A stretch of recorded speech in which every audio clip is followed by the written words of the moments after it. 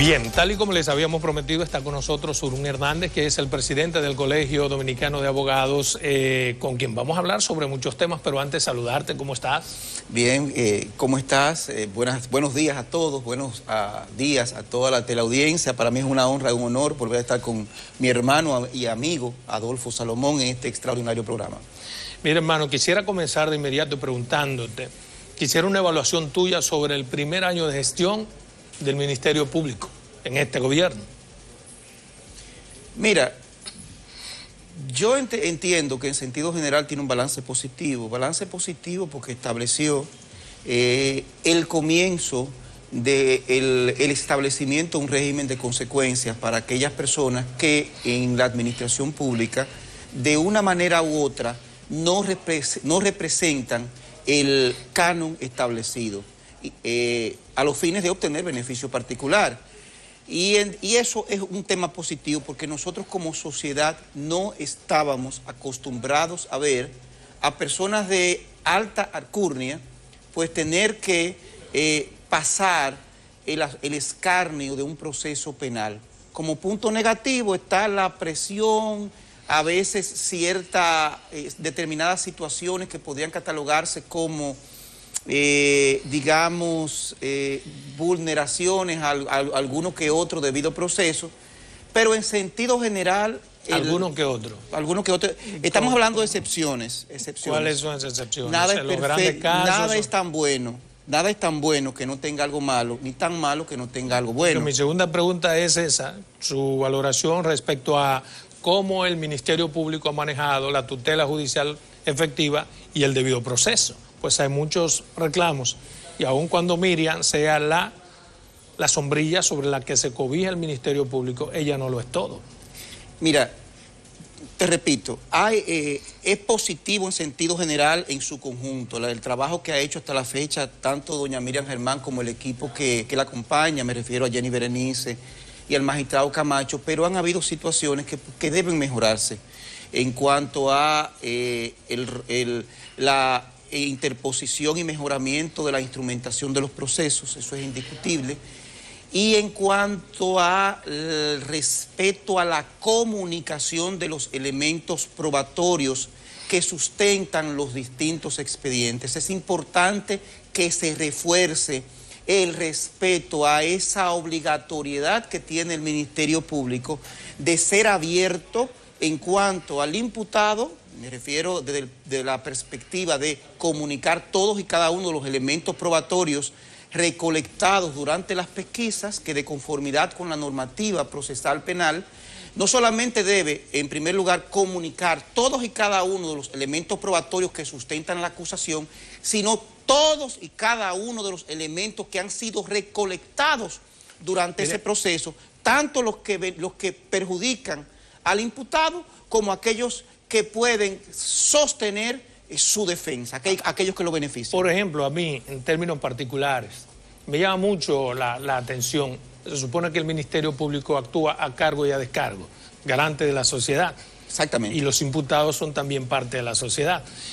Eh, a mí me preocupa mucho la manera deportiva en que se utiliza la prisión preventiva, cuando se supone que es la excepcionalidad y el estado natural de cualquier proceso debe ser en libertad.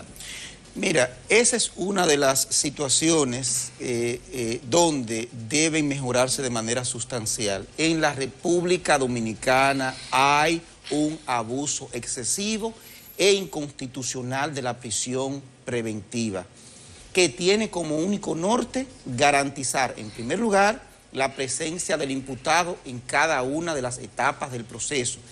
En segundo lugar, proteger a la sociedad de eh, determinadas personas que son encartadas, lo cual evidentemente no aplica en los casos donde se eh, investigan crímenes económicos. ¿A qué usted cree que a qué se puede atribuir esa, digamos, esa, esa fragilidad con que se aplica la prisión preventiva, ese experimento? Aun cuando no importa, yo a veces digo, Surún, tú me corriges, que no importa lo que el Ministerio Público pida, ¿eh? porque el juez en última instancia es que sabe qué tipo de medida eh, debe establecer. Pero ¿a qué usted puede atribuir el hecho de que se utilice tan, tan a la ligera la prisión preventiva? Mira, lamentablemente la presión mediática, hay una suerte también de eh, cultura, eh, cultura que apunta a que no existe justicia si no hay una persona detenida, una persona presa. No hay proceso sin. En la psiquis del dominicano está, lamentablemente, el Código de Procedimiento Criminal, el Código francés, y no un código actual, que es el Código Procesal Penal, que es garantista, que garantiza inclusive, valga la redundancia, que un proceso bien llevado, penal, un proceso acusatorio, eh, pueda tomarse un año, año y medio. Cuando yo pienso, por ejemplo, en ese tema, se me ocurre pensar que debería ser o debe ser porque estamos en una sociedad Datsun con un código que es Mercedes-Benz. O sea, el código está por encima de la realidad dominicana. ¿Y la ¿Por qué lo digo? Porque no hay una forma material ni humana de garantizar las otras siete medidas, seis medidas de coerción de manera efectiva. Por eso recurren tanto a la tráncalo. Esa es, una arista del, problema. O sea, lamentablemente estamos en presencia de una eh, inexistencia eh, de recursos suficientes para garantizar la, eh, la presencia del imputado en todas las etapas del proceso y que exista un régimen de consecuencia en caso de que ese imputado pues no asista a cada una de las audiencias.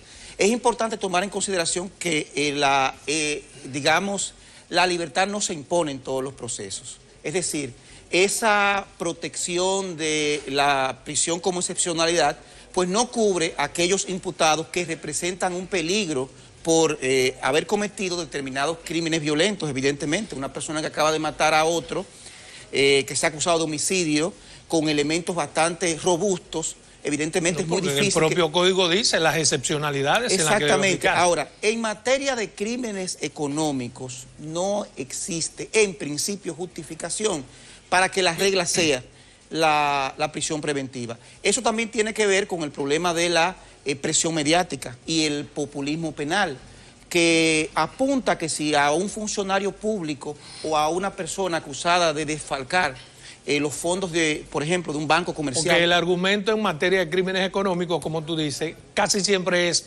que la persona, el imputado, tiene la posibilidad de distraer bienes y, una serie de cosas que serían parte del proceso, pero ese es un problema que tiene que aprender a cubrir el propio Ministerio Público. Es una debilidad del Ministerio Público que no puede atribuírsele a la persona que es imputada. Tenemos que fortalecernos de forma tal que no se pueda lograr por parte de la persona acusada esa. Pero bien, entonces se podría decir, Surún, que el presidente, tal y como dijo en su discurso, eh, debe sentirse satisfecho con haber puesto un Ministerio Público independiente. En sentido general, sí, la sociedad dominicana tiene que eh, sentirse satisfecha por eh, el esfuerzo realizado por el presidente de la República, por una justicia, entre comillas, independiente, pero eso en modo alguno es suficiente. Entre comillas, ¿por qué usted la entre comillas, la justicia independiente? Porque nosotros tenemos una, en este momento no podemos hablar ni de Estado de Derecho ni de justicia independiente cuando el, eje fundamental del sistema de justicia es totalmente eh, político, arbitrario, abusivo, me refiero a la forma en que en este momento está siendo administrado el Poder Judicial y me dolió sobremanera el hecho de que en la rendición de cuentas... Pero eso contradice su propio discurso. Usted me está diciendo que el Ministerio Público está actuando bien, está formando, actuando de forma correcta. Y ahora me dice que es totalmente político, arbitrario, abusivo. El Poder Judicial, me refiero. Exactamente, el Poder Judicial en sentido general. No, no, no. No el Ministerio, usted saca el Ministerio Público. Totalmente. Estamos hablando ahora mismo de, eh, esencialmente, de la presidencia de la Suprema Corte de Justicia, que lamentablemente no hacemos absolutamente nada con un ministerio público que quiera hacer un trabajo eficiente, efectivo, con todas sus debilidades que siempre eh, existen y ningún trabajo es perfecto. ¿Por qué es abusivo, arbitrario y político el Poder Judicial? Mira, lamentablemente eh, eh, está en su génesis. la Suprema Corte de Justicia eh, la presidencia de la Suprema Corte, el actual presidente, Luis Henry Molina, fue, fue designado directamente desde un comité central de un partido político, fue designado presidente de la Suprema Corte de Justicia. Desde que fue designado, trató al Poder Judicial como si fuera la alcaldía más desorganizada de la República Dominicana. En primer lugar, llegó el mismo equipo que lo ha acompañado en las distintas instancias eh, gubernamentales que él ha desempeñado, cinco personas que siempre lo han acompañado en CIRD, que lo han acompañado en Indotel, pues fue y las llevó directamente a la, a la Suprema Corte de Justicia. Lo cual no es inconstitucional si hacen bien su trabajo es totalmente inconstitucional porque la ley y el Código Penal establece que se eh, establece la prohibición de beneficiar a los relacionados a los, a, los amigos. O sea, es una locura. Que uno pueda llevar a, cinco personas. Uno puede trabajar con enemigos. O sea, lo de relacionado, pono entre comillas, porque hay que ver qué tipo de relación. Si yo fuera presidente de la Suprema, con el grado de amistad que tú y yo tenemos en todos estos años, se me ocurre que yo te pongo en lo que yo sé que tienes pero, pero mira qué sucede, hay que tomar en cuenta, en primer lugar, ese es la, el, el, del asunto. Un político trata al Poder Judicial como político y lo administra como político. El Poder Judicial no puede ser administrado bajo esa perspectiva. No es una empresa privada, no es un órgano cualquiera. Existen determinados, eh, determinadas normativas que deben ser respetadas. Y el solo hecho de que coincidencialmente esas cinco personas eh, ganaran los concursos que celebró el Poder Judicial para seleccionar por mérito a ese tipo de personas, pues deja mucho que Entonces, la violación es esa, hacer las cosas de forma irregular, pero no poner una persona por el hecho de conocerla simplemente.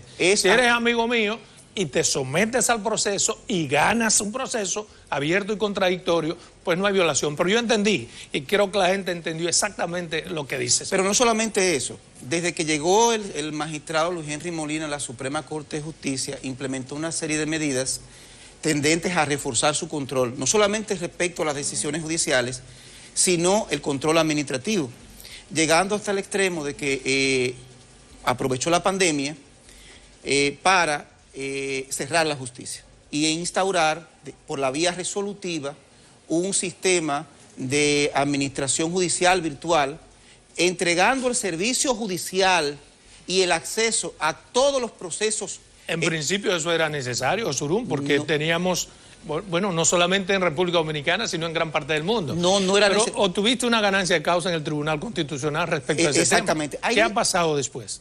No, no, eh, eh, ahí voy, ahí voy. ¿Qué sucede con el servicio judicial? Mira, te voy a poner el ejemplo del Tribunal Constitucional, que se escuda siempre en que era necesario. El Tribunal Constitucional está en la República Dominicana, vivió exactamente la misma pandemia y no, no vivimos la mala experiencia que vimos en el Poder Judicial. Pero no es lo mismo, Zurú. Los procesos judiciales en los tribunales comunes no puede ser igual en, estado de excepción que lo que hizo. Pero perdóname, el Tribunal Constitucional lo único que hizo fue, en primer lugar, mantener sus secretarías abiertas y el acceso de las personas a, sus distintas secretarías. El actual presidente de la Suprema lo único que hizo fue aprovechar eso para instaurar un sistema.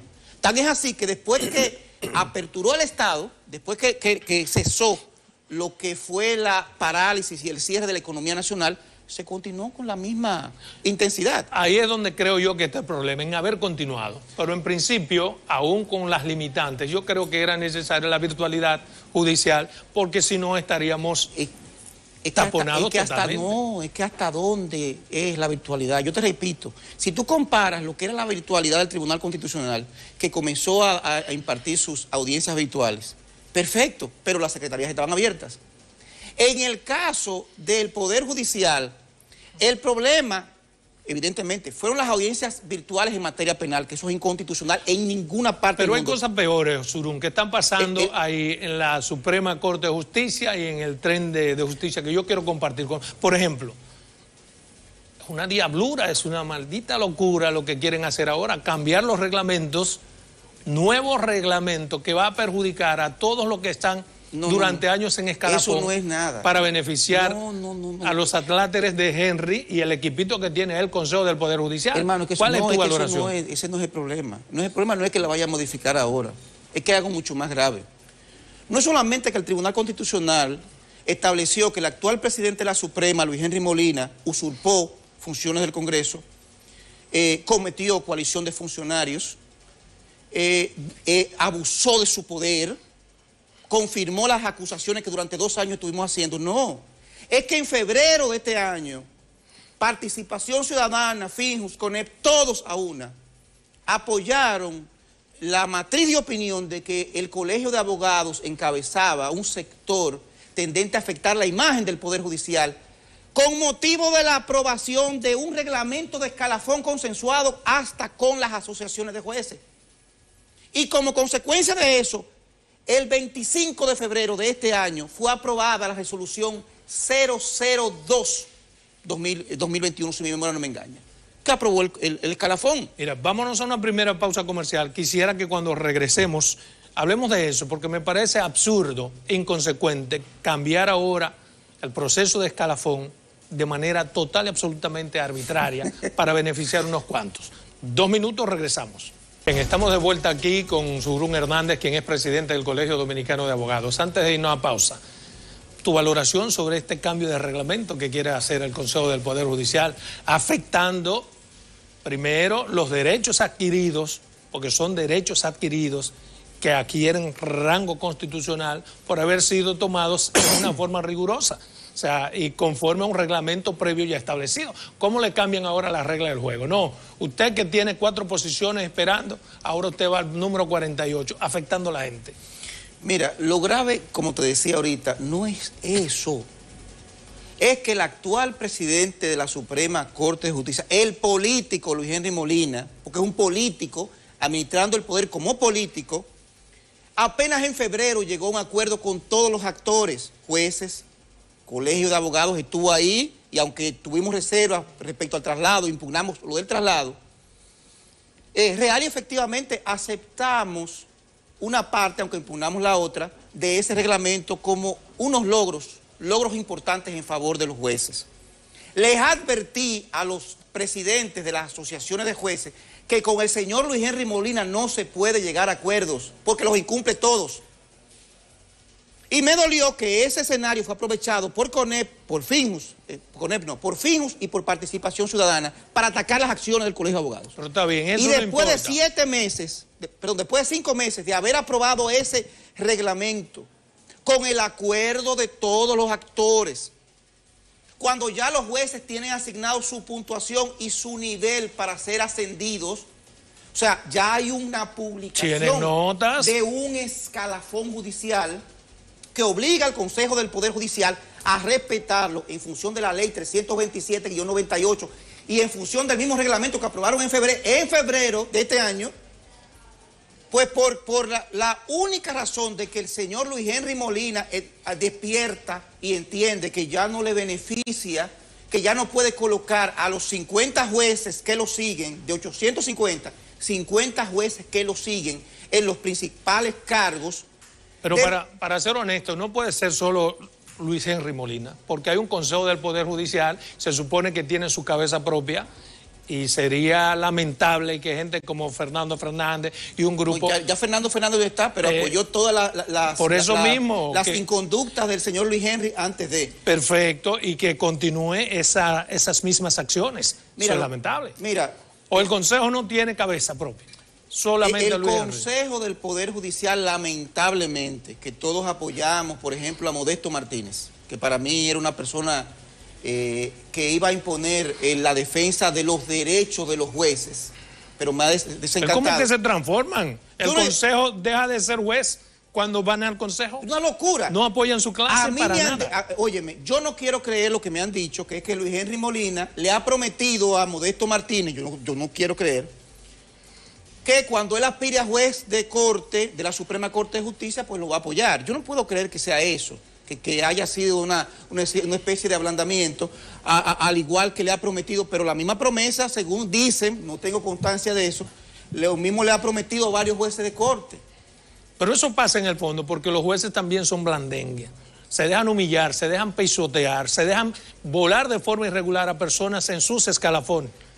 ¿Entiendes? Mira, lo, no grave de, lo que se, de lo que se eh, pretende imponer es que eh, se elimina, señores, todos los lo que son los parámetros científicos, legales y constitucionales de evaluación de jueces. Se elimina la formación académica. Solamente se deja la Escuela Nacional de la Judicatura y se deja la Escuela Nacional de la Judicatura asignándole cinco puntos, porque quien maneja la Escuela Nacional de la Judicatura es Luis Henry. Y de esa manera él puede imponer su gente. Se elimina algo que está en la ley, todo está en la ley 327-98, la forma de evaluación. Se elimina el asunto de la evaluación por desempeño en función de departamentos judiciales, es decir, de cortes de apelación, algo ilegal, inconstitucional.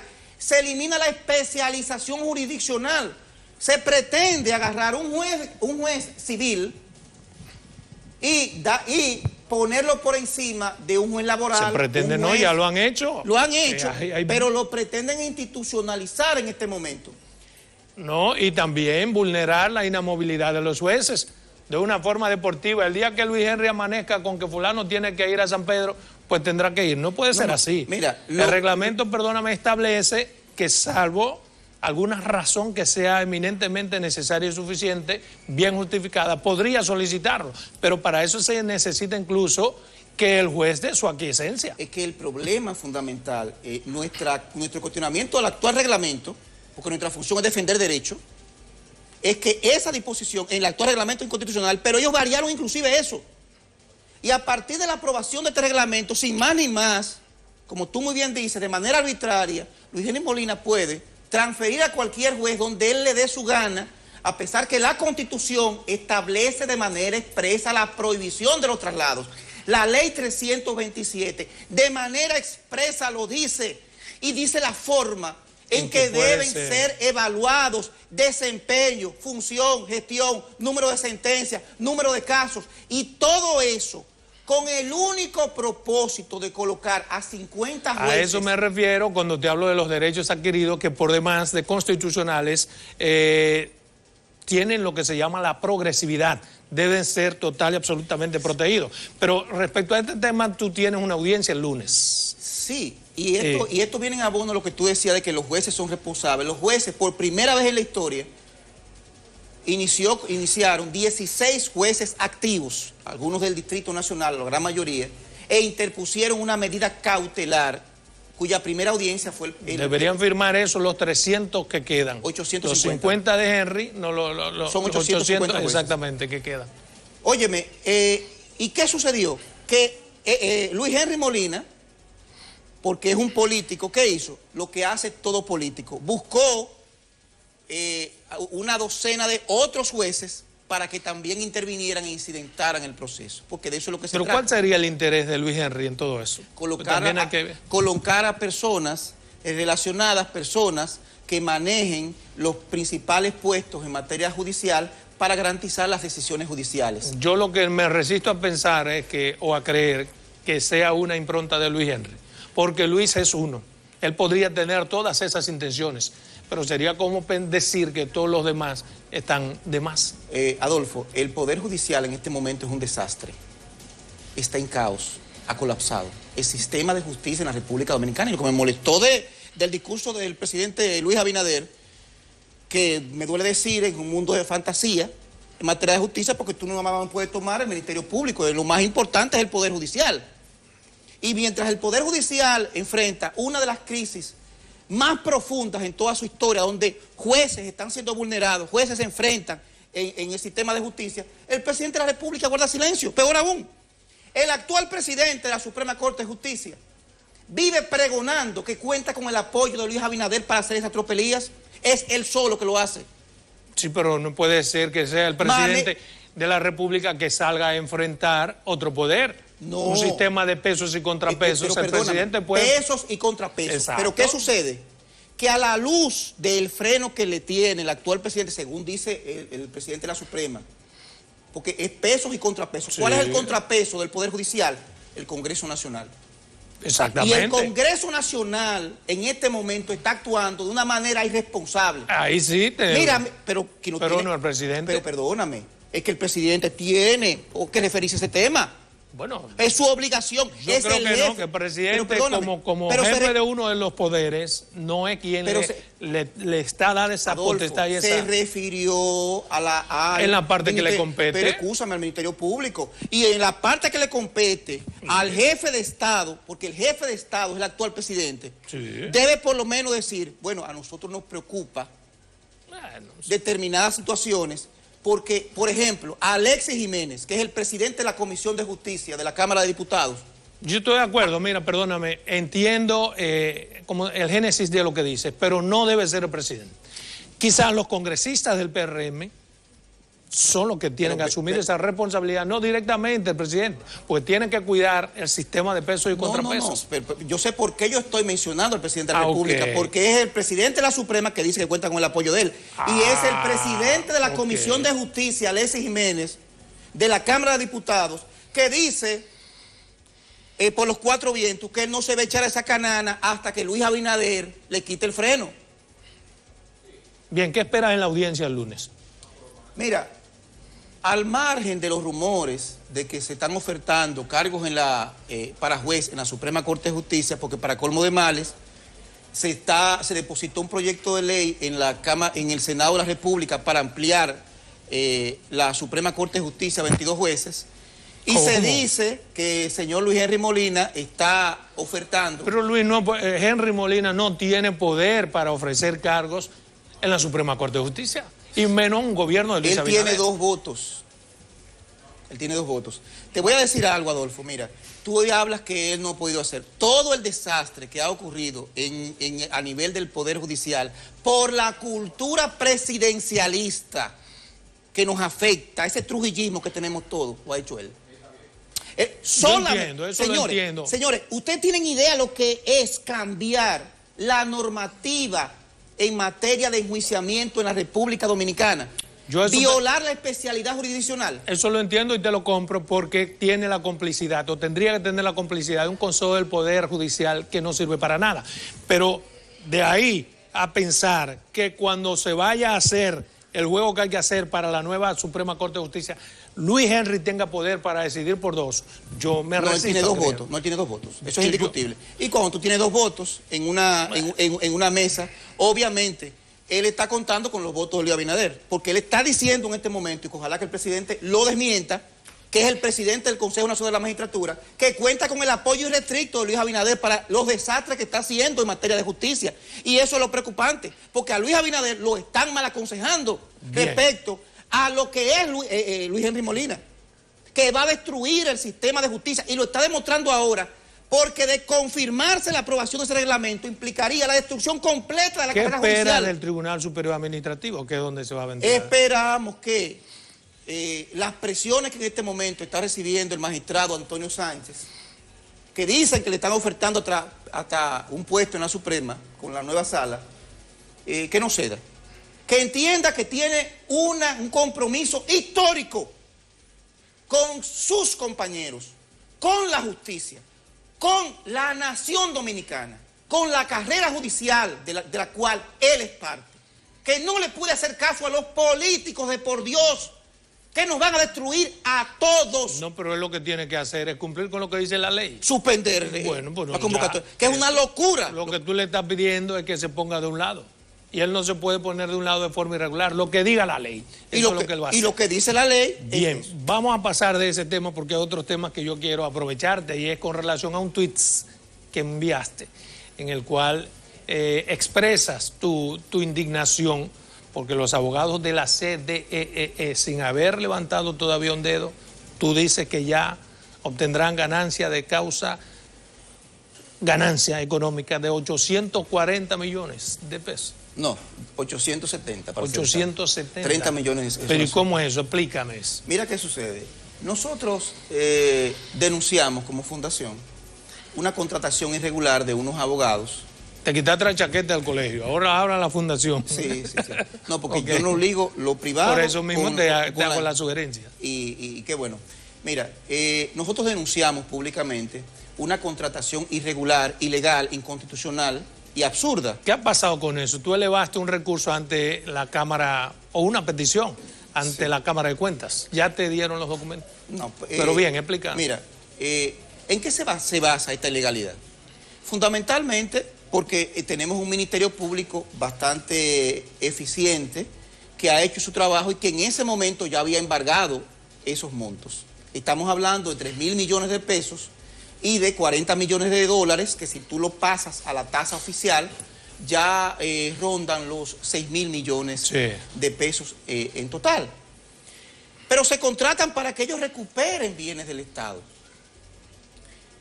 Pero se hace una contratación de manera directa en violación a la ley 340 porque la ley 340 no establece dentro de la excepcionalidad los servicios eh, legales.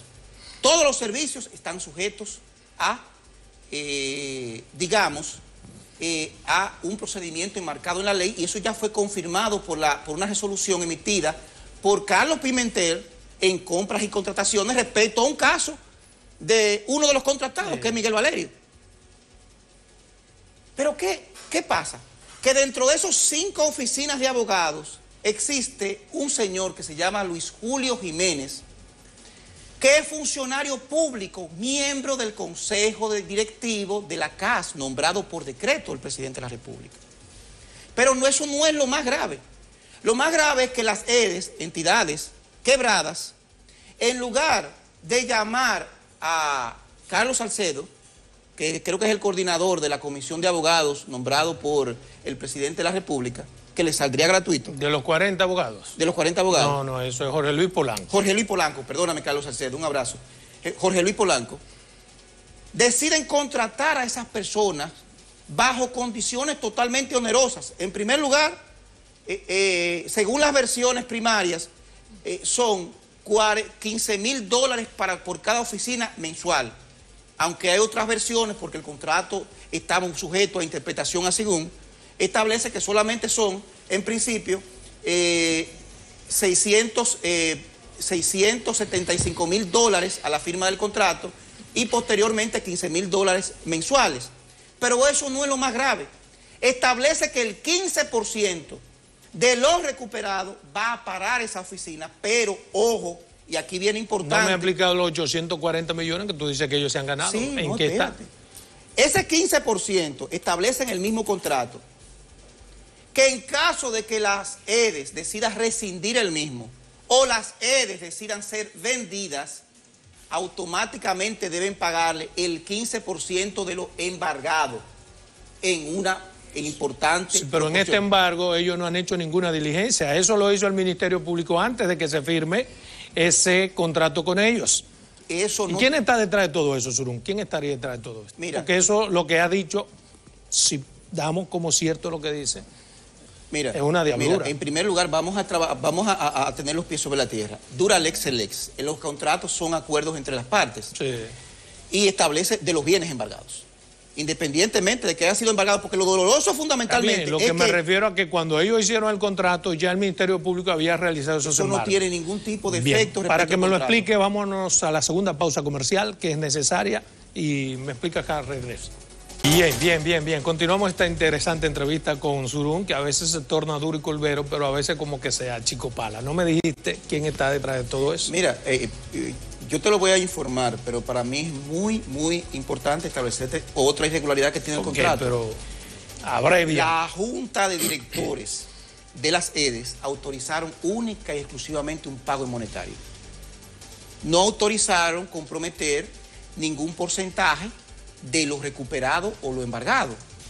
En este caso, cuando el administrador general de la CDE suscribe un contrato comprometiéndose a pagar lo que el Consejo le, le autorizó y adicionalmente a eso, pagar un porcentaje de lo embargado, algo muy grave. Que no está en la autorización del Consejo. Al menos eso me dijo a mí el ministro. No, yo vi las autorizaciones, no, no, no la... Exacto. Entonces, eh, eh, evidentemente comete una falta que anula automáticamente ese contrato. Sí, pero tú has dicho que hay alguien poderoso detrás de eso y no has dicho quién. Mira, eh, tanto el señor Luis Julio Jiménez, de Jiménez Brea Peña, de Jiménez Peña, la oficina de Jiménez Peña, como el señor Miguel Valerio son abogados de Fran Rainieri, que tiene muy buenas relaciones con altos funcionarios en el Palacio Pero ¿y qué tiene eso que ver?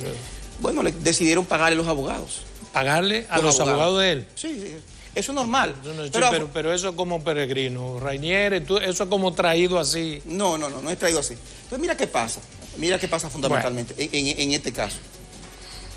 Hablar de un contrato que compromete única y exclusivamente desde ya, en el caso de que se vendan las EDES en el día de hoy o de que las EDES decidan rescindirlo, ya automáticamente deben 870 millones de pesos porque simplemente hay que buscar la certificación de lo que está embargado y lo dice el contrato, independientemente de que sea a la luz del trabajo eficiente de eh, la magistrada Jenny Berenice y del magistrado Camacho. Ellos hicieron el trabajo, ellos hicieron la investigación. Ya, ellos van ganando, y ya, tienen ganado hoy millones de 870. Sin, sin dar, eh, eh, espérate, sin dar un golpe. Lo más grave de eso es que Carlos Pimentel, el director de compra y contrataciones, que es muy efectivo en otras cosas, primero le sometemos la denuncia. Y lo vi en un programa aquí mismo. Aquí decir que, que, como que no se sabía explicar, señor. No, no, no, él dijo taxativamente, lo recuerdo porque fue mi programa, que no tenías, tú no pudiste explicar qué es lo que querías. O sea, por insustanciosa tuvo que devolvértelo. O sea, y es natural que así lo haga. No, tú sometiste de nuevo. No, qué ha pasado? No, no, lo que pasa es que yo he aprendido de la vida como actor que cuando veo que hay un funcionario que esté evadiendo su responsabilidad, ah, tú quieres que te pinte la pared blanca con, eh, con bolitas rojas, te la pinto con bolitas rojas para que no tenga excusa. Y tomé como base la misma resolución que le emitió en marzo para que no tuviera ningún tipo de excusa. ¿Y no te han contestado? Claro que no. Lo grave del caso no es eso, es que cuando yo emito una denuncia simple, formal y le anexo a los periódicos, pero no se lo estoy diciendo, se lo estoy pidiendo, si yo no tengo información, ¿le puedo dar información? Si no tenía el contrato en ese momento que se hizo la denuncia, que lo único que tenía era la información que salió en los medios de comunicación y la información que tenía de manera extrajudicial, ¿qué debió haber hecho como ente supuestamente imparcial que investiga las compras y contrataciones irregulares, inmediatamente llamar. Venga. que tú hiciste una denuncia sin tener los argumentos y quieres que la Cámara de Cuentas te busque los elementos que sostendrán tu propio argumento. No, no, no, no, no, Es que él es, él es el ente regulador. Él no es juez, es ente regulador. Él debió haber verificado, porque evidentemente el ciudadano no tiene toda la información. ¿Y en qué va ese caso entonces? Cuando obtuvimos el contrato, inmediatamente interpusimos las dos acciones que nos permitieron, que es la suspensión y la anulación. Esta es la fecha de que el día pasado le mandamos una, una apuesta en mora y contestó simple y llanamente diciendo que está en la espera de los trámites, en, una actuación muy cuestionable, porque evidentemente ahí está, detrás eh, el poder que protege esas contrataciones. ¿Pero poder de quién? hay una persona muy poderosa. Lo grave del caso, lo grave del caso, es que al margen de todas las irregularidades de entregar en lo que el hacha viene 870 millones de pesos de empresas quebradas, como son las EDES, de eso, de que esos quebradas no están. Sí, las EDES están quebradas. No, no, están deficitarias. Quebradas no. Bueno, deficitarias que aparte de esos 870 millones, están las irregularidades que no fueron autorizados el administrador para firmar ese tipo de contrato. Está la irregularidad de que uno de los contratantes es funcionario público. Funcionario público con certificación. Le depositamos el decreto a Carlos Pimentel. Y esta es la fecha que no ha hecho nada. Absolutamente nada. Pero suponte que, que pidan que se excluya a ese funcionario. Ese no es el elemento principal de esa contratación. No, no. ¿O lo es? No, indica una seria irregularidad, hermano. O sea, una cosa está sujeta a interpretación, espérate que el consejo, pero desde que aparece dentro de los contratantes un funcionario público, espérate, eso debe prender todas las alarmas. Y lo grave del caso, que a mí me duele mucho más, que el trabajo que está haciendo en este momento la Procuraduría, persiguiendo la corrupción, sobre la base de la violación de compras y contrataciones, es exactamente el mismo cuadro que ellos han hecho. Y como yo le dije, no podemos perseguir actos de corrupción cometiendo actos de corrupción, de por Dios. Bueno. Esto, esto, esto, lo digo de corazón, porque usted toma lo que es el cuadro imputador presentado en la misma querella que ellos hicieron que ellos interpusieron en la Procuraduría. Y es exactamente el mismo cuadro. Lo más grave del caso es que en la querella que interpusieron contra Bichara, respecto a un caso muy sustentado, que en este momento está en la Procuraduría, muy sustentado porque evidentemente hubo graves actos de corrupción en la pasada administración, eso nadie lo discute, eh, era que la resolución de DESUR prohibía suscribir contratos en dólares con proveedores locales y lo dicen en la misma querella esas personas. Y lo primero que hacen es suscribir un contrato en dólares. Peor aún, tú que eres tan inteligente y tan agudo, explícame una cosa. ¿Y Punta Catalina dónde está? Tú buscas la querella de arriba a abajo. Y Punta Catalina, con todos los elementos probatorios del mundo, está excluida del proceso. Los elementos probatorios según tú, porque una cosa es lo que uno entienda. Pero mira, finalmente, nos quedan dos minutos, me gustaría saber. ¿Usted ha solicitado una auditoría a su gestión? ¿Qué ha pasado? No, nosotros, nosotros eh, en este ¿O momento... se ha pedido una auditoría a su gestión? Nosotros iniciamos un proceso de legal, porque nosotros manejamos fondos, eh, no manejamos fondos públicos, no recibimos fondos del presupuesto nacional, sino simplemente iniciamos un proceso de selección de, las, eh, de la firma auditora que nos audite. Y solicitamos el auxilio a la Cámara de Cuentas y a la, y a- ¿En qué va eso? y a la Contraloría, no han contestado, pero va a ser, va a ser seleccionada entre las cinco mejores del país. ¿Saldrá limpio usted de un proceso de auditoría? 100%, 1000%. 1000%. ¿Usted no encontró ninguna irregularidad en su gestión? Bueno, no- Usted dijo en principio que sí, pero luego no sometió. Y de ahí sí usted debió hacer los sometimientos. Irregularidades en lo que usted sí dirige. Mira, eh, real y efectivamente la- la- la- las condiciones en que yo recibí el Colegio de Abogados de la República Dominicana implicaban una concentración en lo que era levantar la institución, la aprobación de la ley. Nosotros hicimos las solicitudes correspondientes y los arqueos de las gestiones nuestras.